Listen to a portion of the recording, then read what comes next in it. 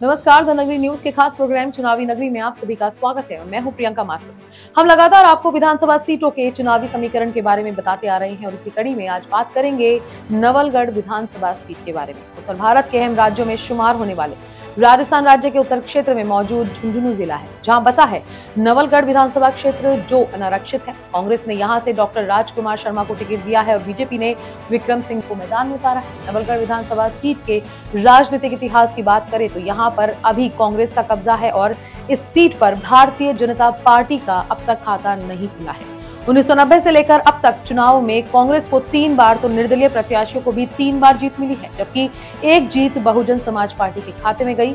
शेखावटी के नवलगढ़ विधानसभा क्षेत्र में कुल वोटर्स दो लाख छिहत्तर हज़ार तीन सौ इकसठ है, जिनमें से पुरुष एक लाख चौवालीस हज़ार तीन सौ तिरानवे है और महिलाएँ वोटर्स एक लाख इकतीस हज़ार नौ सौ अड़सठ है। यहाँ पर जाट समुदाय के लोग सबसे ज़्यादा हैं। इसके अलावा मुस्लिम समुदाय के साथ साथ सैनी और एसटी वर्ग के वोटर्स की संख्या भी काफ़ी है। वहीं ब्राह्मण, गुर्जर और कुम्हार समाज के लोगों का भी इस क्षेत्र में काफ़ी दबदबा है। इस क्षेत्र में कुंभाराम कैनाल से मीठे पानी की आपूर्ति और सीमेंट फैक्ट्री में स्थानीय लोगों को रोज़गार दिए जाने की मांग। इस बार चुनावी मुद्दा बना है। अब बात करते हैं कांग्रेस के प्रत्याशी डॉक्टर राजकुमार शर्मा की। तो इन्होंने 2008 में पहला चुनाव बसपा की टिकट पर लड़ा था। इसके बाद वे कांग्रेस में शामिल हो गए और पिछली गहलोत सरकार में चिकित्सा राज्य मंत्री भी थे। निशुल्क दवा और जाँच योजना उनके मंत्री काल की ही देन है। इसके बाद 2013 में चुनावों में भी उन्होंने कांग्रेस की टिकट नहीं मिली थी तो उन्होंने निर्दलीय चुनाव लड़ा था और कांग्रेस के साथ खड़े हो गए थे। इस बार 2018 में उन्होंने कांग्रेस टिकट पर ही चुनाव लड़ा था।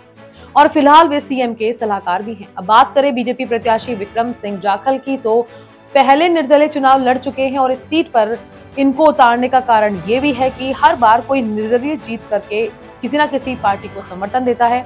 डॉक्टर राजकुमार शर्मा और विक्रम सिंह जाखल में एक बड़ी टक्कर आपको देखने को मिल सकती है। अभी के लिए चुनावी समीकरण में फ़िलहाल इतना ही। मैं लेती हूँ इजाज़त। नमस्कार।